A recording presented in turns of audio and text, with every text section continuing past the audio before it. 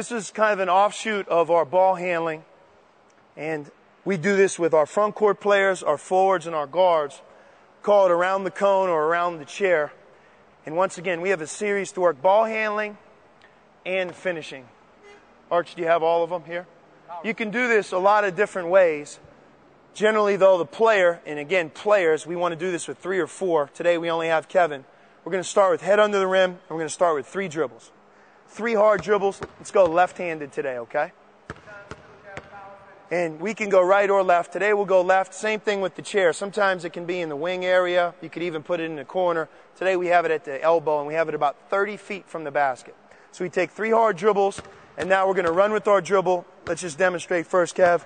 So he's running with his dribble, his head's up, and as he gets around the chair, he's going to slow down, he's going to stay low, and he's going to turn. When he turns, it's game like, it's full speed, and the first finish is what we call power finish. It's a way of getting a three point play, it's a way of finishing against a bigger player or a help defender, kind of put them under the basket and get the and one, all right? Everything we do today, we'll do in twos. Right? Here it is. Go through it now. Come on, work, work, work, work. Good. Good, good, Kev. Good. Put him in jail. Great job. Good. Take your time. Go two and you have a break. We'll go two in a row and you have a break. Out ahead. Run with your dribble. Run, run. Good. Great job. Good.